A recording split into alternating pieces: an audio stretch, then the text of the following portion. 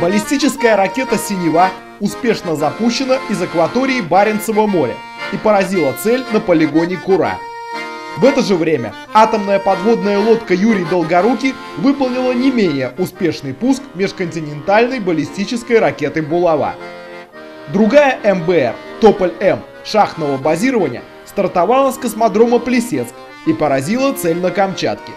С пусковой базы в Ясном в небо устремилась знаменитая РС-20, она же «Сатана», с четырьмя микроспутниками и космическим аппаратом на борту. С космодрома Плесецк ракетой-носителем «Союз-2-1Б» выведен на орбиту спутник ГЛОНАСС. Следом, впервые в истории, с Байконура стартовала ракета-носитель «Союз-2-1А» с грузовым кораблем «Прогресс». А уже на следующий день с Плесецка стартовала другая «Союз-2-1А», на этот раз с аппаратом связи «Меридиан». И, наконец, особенно важный пуск. Произошло долгожданное испытание новейшей российской ракеты легкого класса «Ангара».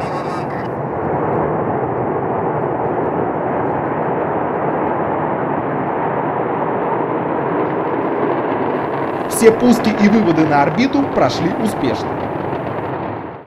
Ладится дело и на Земле. В Свердловской области трубная металлургическая компания запустила новый прокатный стан – Объем инвестиций в проект 17 миллиардов рублей. Ожидаемый эффект до 600 тысяч тонн готовой продукции. В Ярославской области открыт завод «Русские газовые турбины». Инвестиции 5 миллиардов рублей. Планируемая мощность до 20 установок в год. В Брянской области Мираторг запустил крупнейший в России автоматизированный комплекс по производству и переработке говядины. На строительство потрачено свыше 6 миллиардов рублей. Плановая мощность 1000 голов в сутки. Это вытеснит 7% импортного мяса. Вторая очередь крупного животноводческого комплекса открыта в Тамбовской области. В Воронежской новый свиноводческий комплекс стоимостью 6 миллиардов рублей. В Оренбургской мясоперерабатывающий завод. В Татарстане на заводе окиси этилена запущено новое импортозамещающее производство. В Чувашии открылся завод клинкерной фасадной плитки и ступеней, тоже импортозамещающее производство. В Пермском крае запущена новая производственная площадка по выпуску оптического кабеля.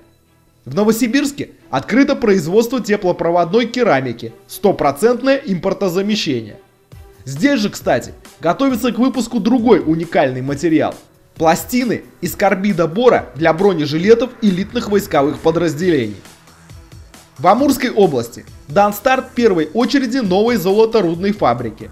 А в Санкт-Петербурге на Адмиралтейских верфях заложены две дизель-электрические подводные лодки Великий Новгород и Колпино.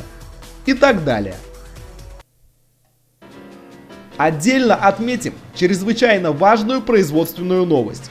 Запущена в производство опытная партия универсальных микропроцессоров Elbrus 8S. Важно потому, что это полностью российская разработка. Причем не только современная, но имеющая ряд уникальных технических возможностей, на которых мы не будем здесь останавливаться. Добавим лишь, что на основе процессоров планируется организовать массовое производство серверов, рабочих станций и других средств вычислительной техники для государственных и бизнес-структур, имеющих повышенные требования к безопасности информации.